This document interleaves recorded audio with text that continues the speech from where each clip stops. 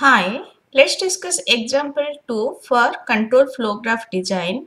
Some three address code is given. I used this example from Ullman book. For more detail, you can refer Ullman book. First step of control flow graph design is finding leader. So first we need to find leader. There are three rule. According to first rule, first statement is a leader. So statement 1 will be leader then according to second rule, any statement that is target of conditional or unconditional jump is a leader. So 3, 2 and 13 should be leader. Now third statement, then second statement and 13 statement should be leader according to rule 2. 2, 3 and 13. Next, according to rule 3, any statement that immediately follow conditional or unconditional jump is a leader. Now there is a conditional jump at statement 9. So next statement means statement 10 should be leader. Then there is a conditional jump at statement 11. So next statement means 12 should be leader. So we found statement 10 and statement 12 according to rule 3. So finally statement 1, 2, 3, 10, 12 and 13 are leader. So after finding leader, next task is to divide into block. So block 1 will contain statement 1 only as statement 2 is also leader.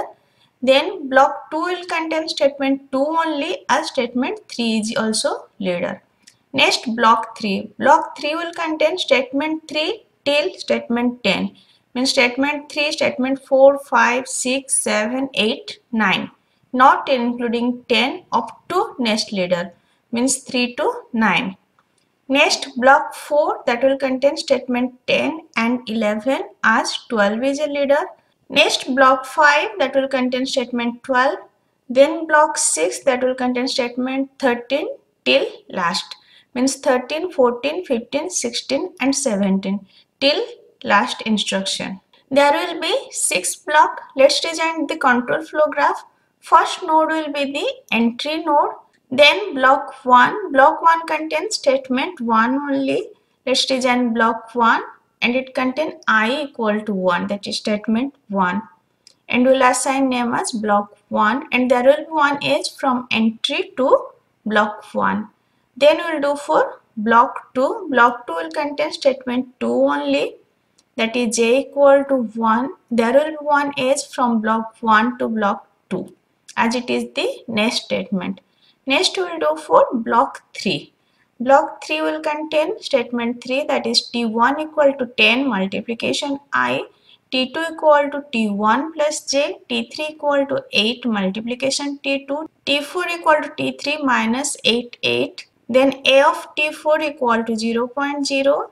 Then J equal to J plus 1.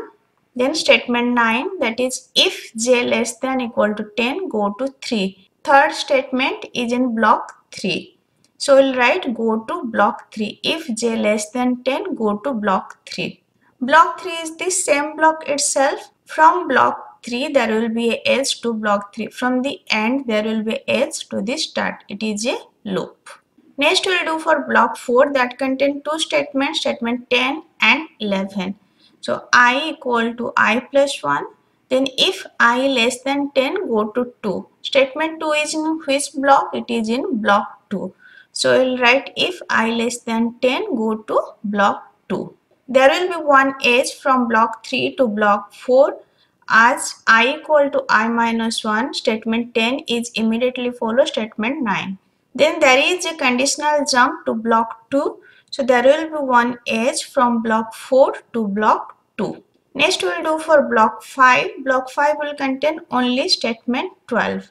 That is i equal to 1 and name will be block 5. And there will one edge from block 4 to block 5 as statement 12 immediately follow statement 11. Next we will do for block 6. There is no space so I am just doing side. This is for block 6 and block 6 contains statement 13 till last statement so statement 13 T5 equal to I minus 1, 14 T6 equal to 88 multiplication T5, then 15 A T6 equal to 1.0, 16 I equal to I plus 1. Next if i less than equal to 10 go to 13 just check 13 is in which block? 13 is in block 6 so we'll write if i less than equal to 10 go to block 6 this is for block 6 so there will be self loop to itself. There will be one edge from block 5 to block 6 as block 6 first statement immediately follow block 5 last statement. And there will be also a self loop as conditional jump is there. Go to block 6 so there will be a self loop.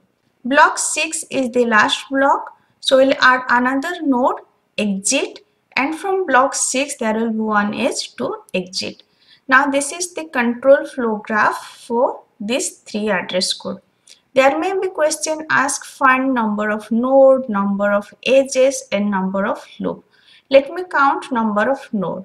This is 1, 2, 3, 4, 5, 6, 7, 8.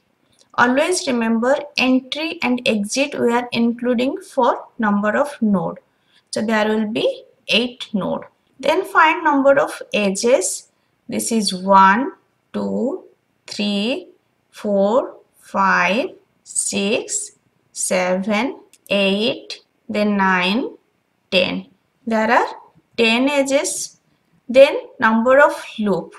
Just see here go to block 3 it is going to same block. This is one loop then from block 4 we are going to block 2 then block 2 to again block 3 block 4 so this is another loop and here from block 6 to block 6 this is another loop there are three loop so one loop from block 3 to block 3 then second loop from block 2 to block 3, then block 3 to block 4, then block 4 to again block 2.